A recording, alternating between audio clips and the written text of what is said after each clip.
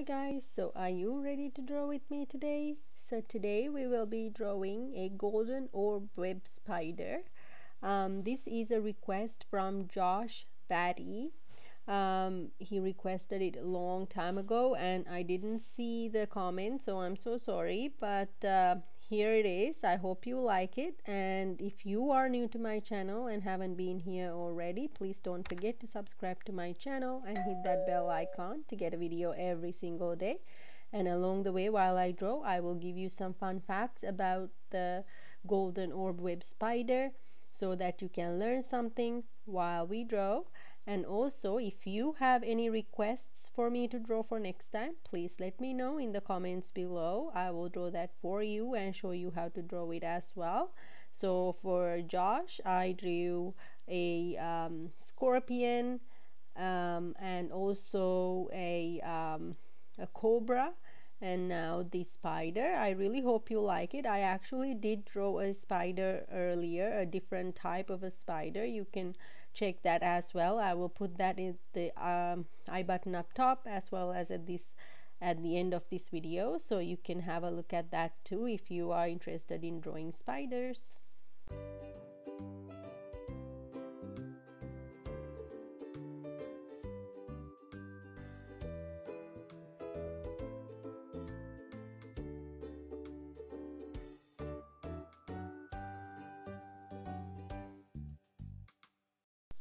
So to get the fun facts today, I will be reading savvysabby.com um, and uh, to get some fun facts for you.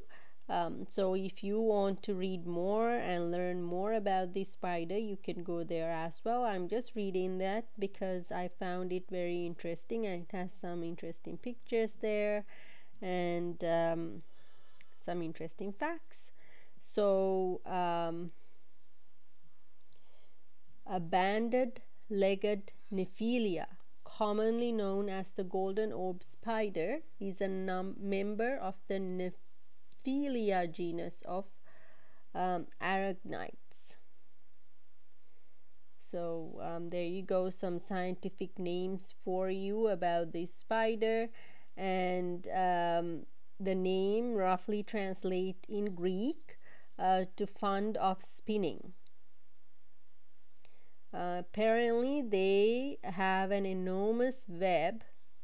Um, they weave an enormous, huge web. And this is a beautiful spider, anyways. It's yellow and has some like white details along with black. Beautiful, beautiful little spider. And there's a picture uh, there with the spider and the web, and there's a tiny little um, another spider at the back of the big spider if you want to check this website out. Uh, pretty interesting. And uh, they have been seen to start at the top of 6 meter tree and stretch as much as 2 meters across. I'm talking about the web here. So the spider can build a huge web uh, it looks like. Um, and apparently most other spider webs are short-lived. These impressive structures can last for years. So probably have like a really strong mesh. Um, apparently the name um, is the golden orb spider is named um, uh, golden orb spider because of the color of its silk it's thought that this color may serve two purposes. In the sunlight, it will attract bees drawn to the bright yellow, whereas in shadow, it becomes camouflaged into the foliage, thus ensuring um, and ensnaring other insects. Interesting, right? How na nature works. So if you have any interesting facts that you would like to share, please let me know in the comments below. And Josh, I hope you're enjoying this video. I'm so sorry it took me so long to draw this for you. Um, I just saw the comment recently and um, I hope uh, you will send me another request as well if you have it and I will draw that for you as well I hope you enjoy this video and um, so we're almost done with the drawing part and I'm also going to show you how to color it as well really quickly. And then at the end of this video I will show you how the full color drawing looks like with a little shadow effect to make it look a little bit 3D um, and I'll give you some more fun facts along the way as well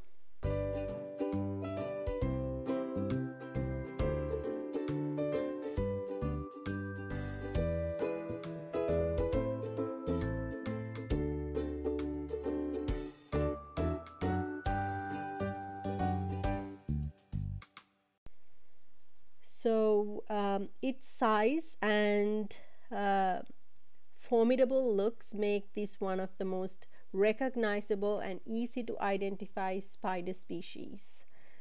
Um, yeah they are very distinctly colored so must be really easy. I've never seen one in real life. I just uh, looked it up because Josh requested it and I found lots of pictures uh, and most of them look very similar uh, uh, looks like the pattern at the back of them uh, differs a little bit but uh, mostly they look very similar and very distinct colors so you probably can recognize it like it says here anywhere. So although it is frightening to look at this spider is non-aggressive and relatively harmless. It can deliver a painful bite if sever severely provoked but the venom is not lethal, generally only causing redness and blistering. So there you go, not a dangerous spider at all. A female golden orb spider can have an abdomen of up to 30 millimeters long and she dwarfs the tiny 5 millimeter male in both size and weight. In almost all Nephelia species, the male is in danger of being devoured by the female after mating. Wow, that's scary. To avoid being cannibalized, the male will approach the female when she is already feeding or present her with a parcel of food to eat. Whilst the female is distracted, the male will fertilize her and then retreat to a safe distance. Wow, that's interesting and funny too. Um, the silk of this species is incredibly strong.